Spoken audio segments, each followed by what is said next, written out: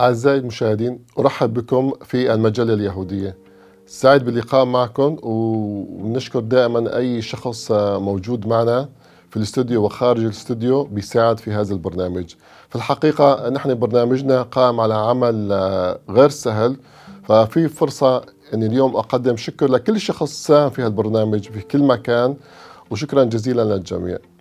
حلقة اليوم رح تكون عن موضوع المدراش. أكيد جزء كبير من المشاهدين سمع عبر اليوتيوب وربما في مقالات مختلفة بأن, قصص من القرآن مأخوذة من المدراش أو من المدراش اليهودي. فحلقة اليوم رح تعطينا تعريف بما هو المدراش ماذا تعني كلمة مدراش وما هو المدراش يعني ماذا تحتوي المدراش. مدراش هي من كلمة عبرية يعني تعني درس درس أو فحص ومدراش تجمع مدراشين. ولكن كلمة مدراش بالنسبة للأدب الحبري اللي نحن نحتاج نتعرف عليه اليوم هو بيخص التعليم. مدراش لما بتذهب إلى الآداب الحبرية هو لا تعني فقط دراسة ولكن هو مجموعة تعليم وعظات في الماضي كان الأحبار مهتمين في دراسة التوراة أو العهد القديم. طيب لما كانوا يقوموا بدراسة التوراة والعهد القديم كانوا بيحتاجوا إلى استخراج القيم الأخلاقية واليومية. يعني لو كان الشخص رح يدرس التوراة فدراسته ليست فقط للمعرفة ولكن للعبرة لأن يغير سلوكه لأن يتعلم شيء جديد أن يستنبط قيم من هذا المدراج من هذه النصوص. فعندما نقول أني مدراج يوجد إذا أدب مدراشي فإذا في الواقع المدراش كلمة تغطي مجموعة واسعة من المعاني أو أنماط أدبية مختلفة.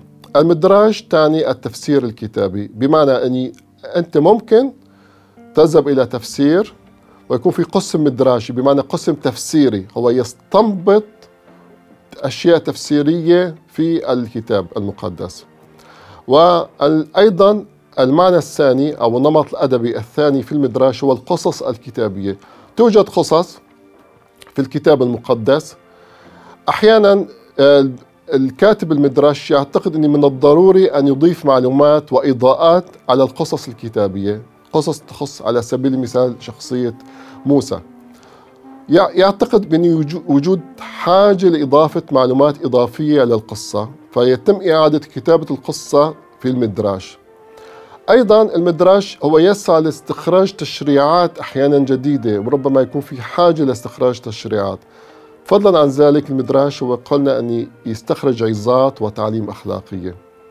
و وأخيرا هو حكايات بخصوص الأخبار. أيضا يوجد فيه كثير من الأقوال الشعبية والقيم الأخلاقية. اذا المدراج هو نوع أدبي ولكن يحتوي على أنماط أدبية مختلفة من التفسير إلى الأقوال إلى الحكمة بمعنى هو شامل هو قراءة شاملة ولكن المركز الرئيسي في المدراج مبني على دراسة التوراة والكتاب العهد القديم.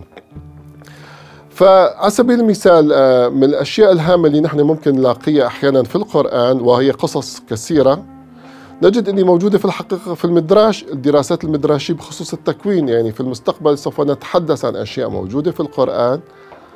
وهذه الأشياء هي قصص نجدها في الواقع في المدراش في المدراش.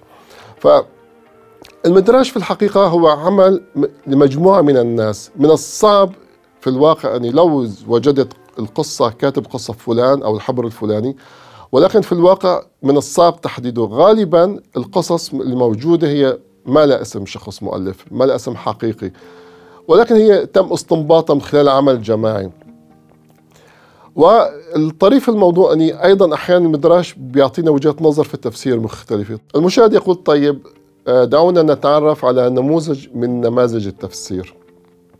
في أحد النماذج اللي موجودة الهامة في, في التفسير هو موضوع اللي موجود في سفر الخروج. سفر الخروج يتحدث على أن آه، الشعب الإسرائيلي كان يزداد عددا ويزداد نموا. فلما أتى حاكم جديد وتسلم عرش الحكم. قال إني لا هذا الشعب يزداد عددا فنحن علينا أن نغير آه، طريقة العمل نزيد العمل الشاق. فلما ازداد العمل الشاق اكتشف إني ما غير النسبة العددية للناس فاتخذ قرار بأن يقتل المواليد الذكور. ولكن المدراش يقول يقدمنا سبب إضافي غير موجود في سفر الخروج. يقول أن يوجد سبب إضافي اللي دفع فرعون لأصدار أمره بقتل أو الأولاد الذكور. أن المنجمين قالوا له أني مخلص اليهود قد اقترب موعد ولادته. فلما أدرك فرعون أن هذا الخطر مقبل فاتخذ هذا القرار.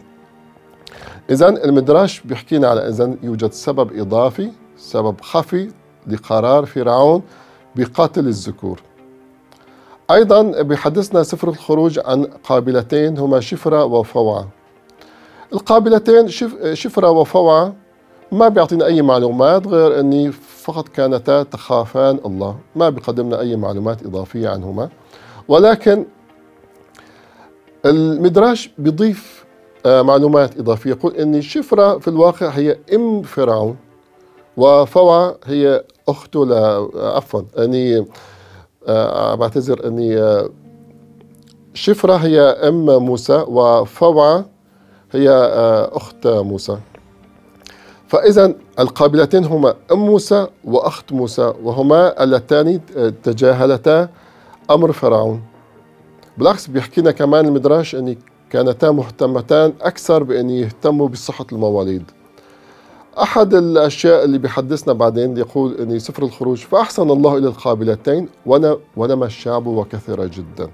طيب يقول الكتاب المقدس سفر الخروج ما ما بيحدد الإحسان ولكن المدرش يقول لا أن الله لما أحسن إلى الشعب هو في الواقع سمح لأن شفرة أم موسى أن تصبح أم للكهنة واللاويين. يعني بمعنى الكهنة واللاويين هي السلف السابق لهم.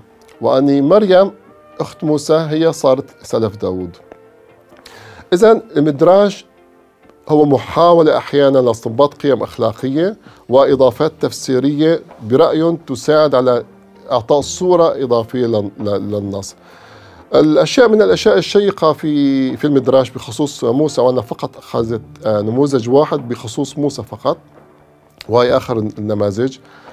أني لما آه، ابنة فرعون وجدت الصبي فتدخلت الأخت وقالت له أني أنا أجد لك مرضعة من العبرانيات لترضع لك الولد. فالمدرش يقول أني بيقدم تفسير لماذا الله رتب أني أم موسى بالذات هي التي ترضع الولد بمعنى ليست أي أم أخرى أو امرأة مصرية. يقول أن الله رتب هذا الموضوع قدم إيضاح. رتب هذا الموضوع لأني حتى ما يكون موسى يرضع من امرأة مصرية وتتفاخر وتقول إني أنا أرضعت طفلا قد أصبح كليم الله. إذا مدراش قال إني نحن لدينا يعني إضاءة ما. هذا بالشكل التفسيري. نذهب إلى القصة الأخيرة في حلقة اليوم قصة تعليمية. أحيانا قلنا أن يوجد قصص ليس بالضرورة قصص حقيقية ولكن ذات طبيعة تعليمية. عندنا في رسالة تاميد الجزء 32 ب قصة تقول أن الإسكندر الأكبر هذا الإسكندر سمع على أني آه، في آه، يعني في في مملكة كان فيها بأفريقيا فيها ناس من العقلاء والحكماء وإني كانت مملكة جدا غنية. فاتخذ قرار ان هذا الإسكندر بما أني سمع عن مملكة موجودة في أفريقيا يعني فيها حكماء حكام عقلاء ومليئة بالذهب والألماس إذا مملكة جدا غنية فأصبح لديه فضول أن يزور هذا المكان. ويقال أني فعلا ذهب إلى هناك وزار المكان وحب يدخل ويشوف طريقة الحكم فسمح لنفسه طلب أن يدخل إلى المحكمة ليشاهد كيف يجرى القضاء آنذاك. فيقال أني دخل للقضاء ورح نشوف مع بعضنا كيف ماذا حدث في القضاء؟ أو بمعنى ماذا حدث في المحكمة؟ هناك دخل إلى قاعة المحكمة وكان شاهد جلس يشهد المجريات المحكمة. الشهادة كان على الشكل التالي أني أتى شخصين مختصمين وكان الاختصام غريب بالنسبة لهم. قال الأول أنه اشترى أرض بسعر عادل وبينما كان يزيل أنقاض المبنى وجد صندوقا من الأشياء القيمة. وبضيف المشتري بما أنه لم يشتري هذا الصندوق فأراد أن يعيده إلى صاحب الأرض الأصلي ولكن صاحب الأرض رفض إعادته. قال لا أنا ما لا أخذ هذا الشيء. فقال البائع أنا عندي سبب لماذا رفضت أخذ هذا الشيء اللي وجده المشتري الجديد. قال أنا لما بعت الأرض بعت الأرض وما فيها وبالتالي هذا الصندوق ليس صندوق يخص لي. إذا كان الخلاف غريب جدا. فالقاضي سمع الأقوال الطرفين وقال طيب أني سأل الأول هل لديك أبن؟ فرد نعم لدي ابن فسأل البائع هل لديك ابنة؟ فقال نعم لدي ابنة فقال إذا وفروا يعني الزواج رتبوا زواجهما وبهذا يعني بإمكانكم أنتم تتشاركوا الثروة من خلال الأبناء فالحدث موقف طريف أن القاضي انتبه أن الأسكندر كان يبتسم فالإسكندر كان يبتسم فالقاضي نظر باستغراب وقال إني هل في شيء بحكمي غريب بيسمح لك إني تبتسم؟